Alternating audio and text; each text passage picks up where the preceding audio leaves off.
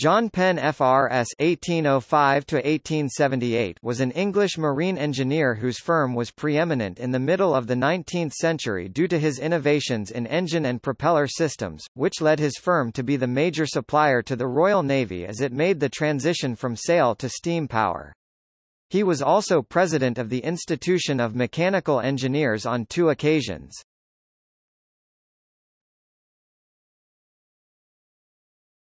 Topic: Early life. John Penn was born in 1805 in Greenwich, the son of engineer and millwright John Penn, born in Taunton, Somerset, 1770, died 6 June 1843. The senior John Penn had in 1799 started an agricultural engineering business on the site at the junction of Blackheath and Lewisham Roads close to modern-day Deptford Bridge. It grew in two decades to be one of the major engineering works in the London area. The focus of the firm was mainly in agriculture and more specifically mills for corn and flour. Although John Penn Sr. lived in Lewisham he stood as a reformist candidate for Greenwich in the December 1832 parliamentary election. Topic career Penn entered his father's works at an early age and became a partner in the early 1830s whereupon the firm became John Penn & Sons. When his father died in 1843 the sole possession of the works passed to Penn, although for some years previously he had had sole management of the works. Penn was an inventor of engines and one of the earliest engines he produced was the Grasshopper beam engine, a 6-horsepower version being the first steam engine to power the machinery at the works. Penn shifted the focus of the works to marine engines. His 40-horsepower beam engines were fitted in the paddle steamers Ipswich and Suffolk, and it is likely these were the first marine engines to be designed and built by Penn. He then focused on improving the oscillating engine from the version patented by Aaron Manby in 1821. In 1844 he replaced the engines of the Admiralty yacht, HMS Black Eagle with oscillating engines of double the power, without increasing either the weight or space occupied, an achievement which broke the naval supply dominance of Boulton and Watt and Maudslay, Sons and Field.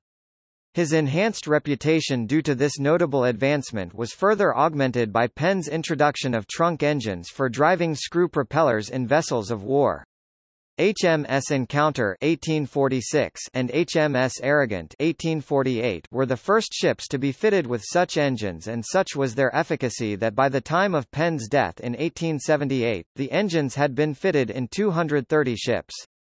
Initially, ships were adapted to incorporate these engines, but in 1851, the Navy ordered its first ship specifically designed as a steam screw auxiliary, HMS Agamemnon. In 1852 the new owners of SS Great Britain decided to recognise the rapid advances in propeller engine technology, and replace the original engines with a pair of smaller, lighter and more modern oscillating engines, designed and built by John Penn and Son. These advancements were coupled with a reputation for quality and reliability and this led to Penn becoming the major engine supplier to the Royal Navy as it made the transition from sail to steam. Penn was also responsible for introducing wood bearings for screw propeller shafts which became vital to the worldwide use of steam-powered ships. This development of the lignum vitae stern bearing which enabled screw propeller ships to make oceanic voyages without wearing out their stern glands came in collaboration with Francis Pettit Smith.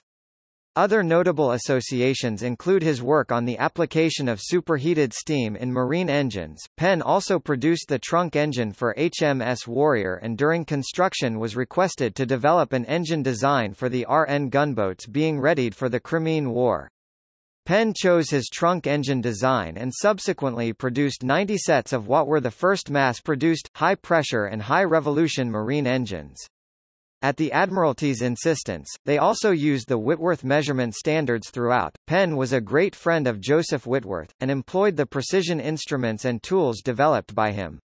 The association with Whitworth was important in the development of mass-produced marine engines, as is clear from the obituary to Whitworth from the Times of 24 January 1887. The Crimean War began, and Sir Charles Napier demanded of the Admiralty 120 gunboats, each with engines of 60 horsepower, for the campaign of 1855 in the Baltic. There were just 90 days in which to meet this requisition, and, short as the time was, the building of the gunboats presented no difficulty. It was otherwise however with the engines, and the Admiralty were in despair. Suddenly, by a flash of the mechanical genius which was inherent in him, the late Mr. John Penn solved the difficulty, and solved it quite easily. He had a pair of engines on hand of the exact size. He took them to pieces and he distributed the parts among the best machine shops in the country, telling each to make 90 sets exactly in all respects to the sample.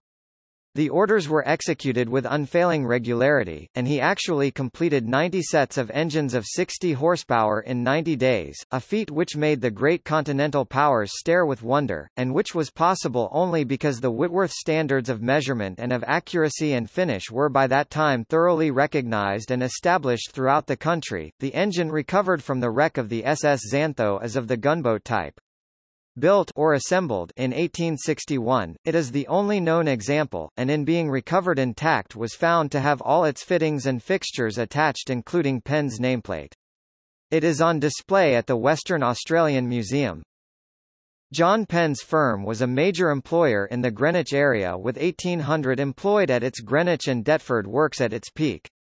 John Penn and Sons was considered the best equipped marine engineering works and Penn a model employer.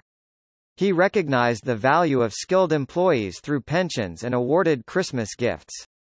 His works also provided the education for a whole generation of marine engineers.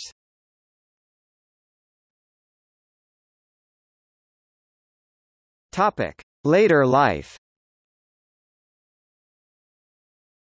John Penn became a member of the Institution of Mechanical Engineers in 1848 and served as its president on two occasions in 1858–1859, and again in 1867–1868.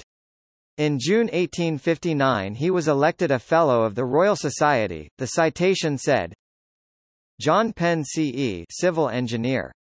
The inventor of several parts of marine steam engines and machinery connected with steam navigation, Distinguished for his acquaintanceship with the science of mechanics. Eminent as a mechanician and engineer. From personal knowledge John Penn C.E. Civil Engineer. Signed W. Cubitt, T.H.O.s. Sopwith, Joseph Whitworth, Rob Stephenson and others. In 1860 Penn was a founder member of the Royal Institution of Naval Architects.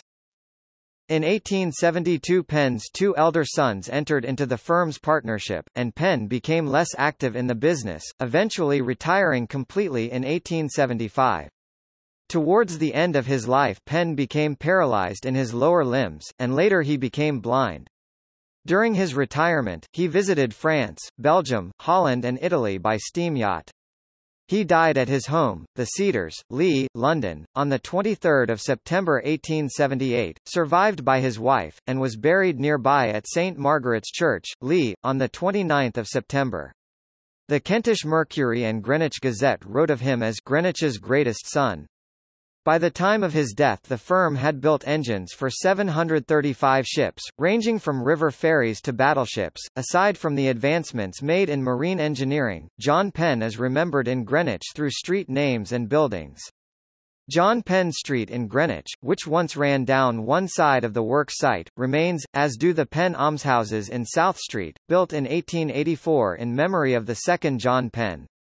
He is also represented in Deptford, such as the arched riverfront of the Boiler Works, and in Lee, south of Blackheath, John Penn's grand house The Cedars still stands, although now converted into flats.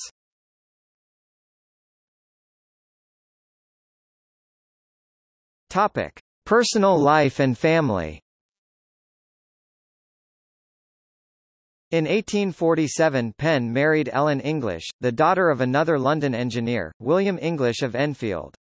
She was 21 years his junior. They had four sons John, William, Frank and Alfred Dick.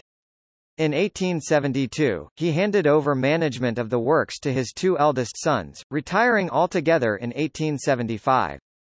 His eldest son John became MP for Lewisham in 1891 and served until his death in 1903 and his sons Frank, William and Dick all played cricket for Kent. They had two daughters of whom Isabella married Frederick Stokes and Ellen married Joseph Fletcher Green, both England national rugby union team players whom they married in 1877. Penn's sister Charlotte married William Hartree in 1839. Hartree was probably already an apprentice with the firm of which he became a partner in 1848. Hartree's sister Maria married John Matthew who became an apprentice with the firm in 1840 and during that decade chief designer and the third partner of the firm. William Hartree was the great-grandfather of Douglas Hartree. John Matthew's daughter married Sir Trevor Lawrence.